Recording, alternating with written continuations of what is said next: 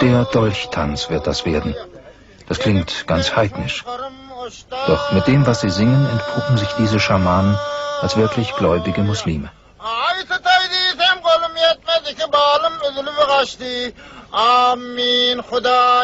Amin.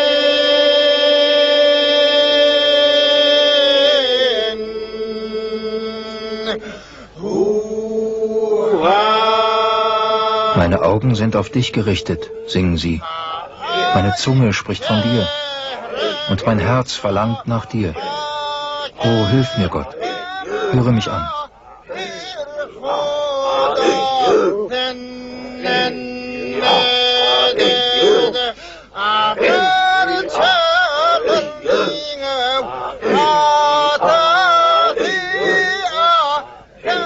Guten Geister, einst als eigenständige Götter verehrt, sind dabei längst nicht überflüssig. Jahrtausende lang haben sie ordentliche Arbeit geleistet. Sowas schickt man nicht leichtfertig in die Wüste. Sie dienen nun als Vermittler für diese Botschaft. Ganz im Sinne Mohammeds ist das nicht. Aber es erschüttert auch nicht den Glauben an Allah.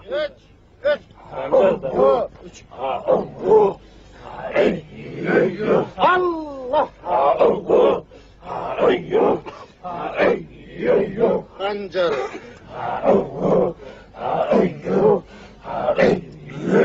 Hop! Som! Çek!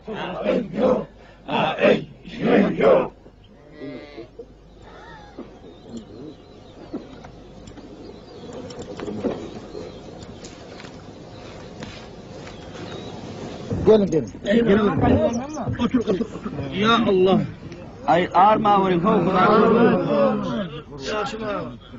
Da kann ja nun eigentlich nichts mehr schiefgehen. Auch wenn es manchmal nicht so aussieht, verspricht der Schamane, Gott und Geister werden Holaku nicht im Stich lassen. Er muss nur standhaft bleiben.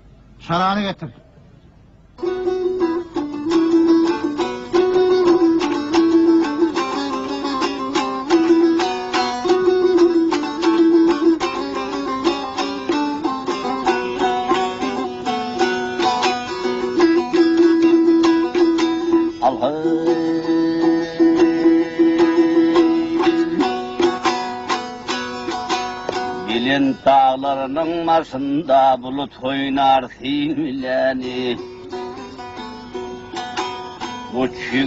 Der Bachschi besingt dann noch die Helden der Turkmenen. Geschichten von mutigen Männern, die ihre Prüfungen alle bestanden haben. Genau das Richtige für Holaku. Der hat ja noch ein großes Ziel vor sich, zu dem er sich am nächsten Morgen auf den Weg machen wird. Şeyhatına din boludur uğraşında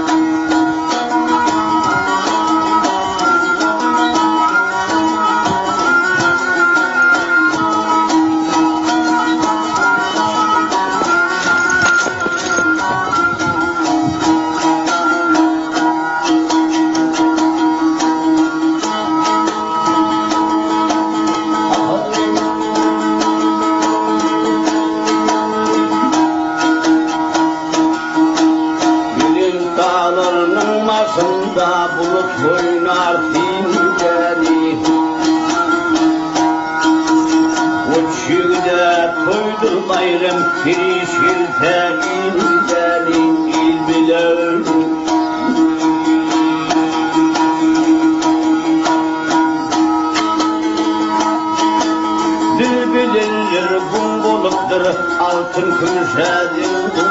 Endlich wieder zu Hause.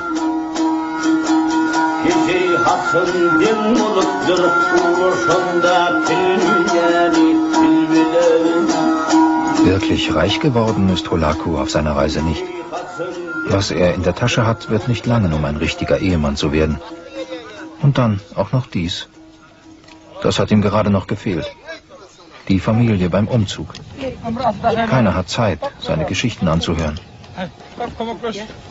Hulakus Verwandte ziehen längst keine langen Wege mehr, aber sesshaft sind sie auch noch nicht. Die Weiden sind abgegrast und der Boden braucht Zeit, sich zu erholen. Statt nur die Schafe und Ziegen auf ein frisches Stück Land zu schicken, scheint es ihnen einfacher, selbst mitzugehen. Es sind ja nur ein paar Kilometer bis zum neuen Weideplatz. Holaku, der arme Kerl, muss gleich kräftig mit anpacken. Aber auch sein Vater. Und das ist dann ein kleiner Trost.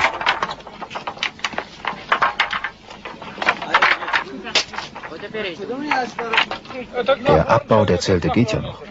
Richtig schwierig wird morgen früh der Wiederaufbau. Doch damit, Gott sei Dank, wird Holaku nichts zu tun haben.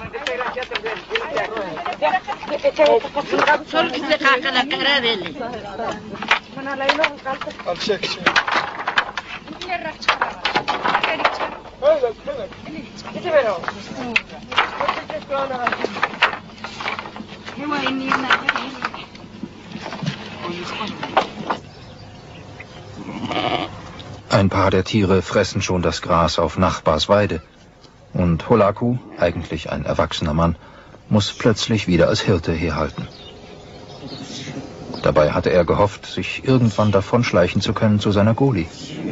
Doch daraus wird nichts.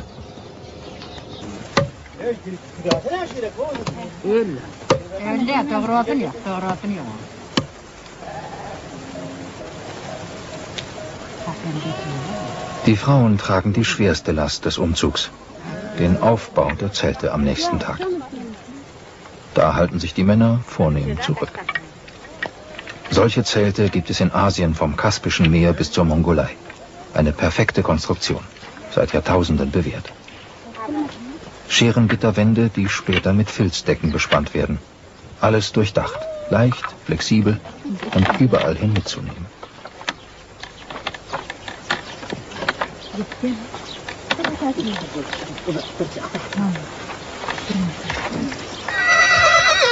Arm und Reich haben die gleichen Zelte. Bei der Inneneinrichtung allerdings gibt es Unterschiede. Der eine hat Teppiche, der andere Pferdedecken.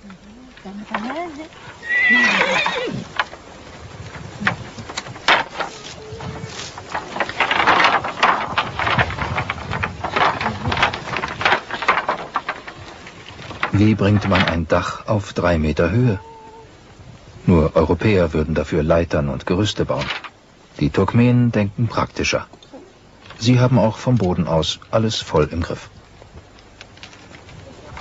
Kaum zu glauben, dass diese Leichtgewichte vor Wind und Wetter, vor Regen und sogar Schnee schützen.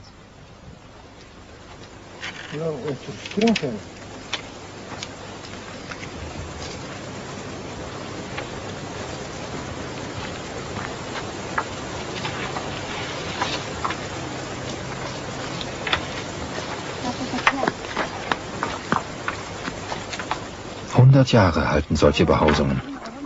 Hin und wieder muss der Filz ausgetauscht werden oder sonst ein Einzelteil. Das ist alles.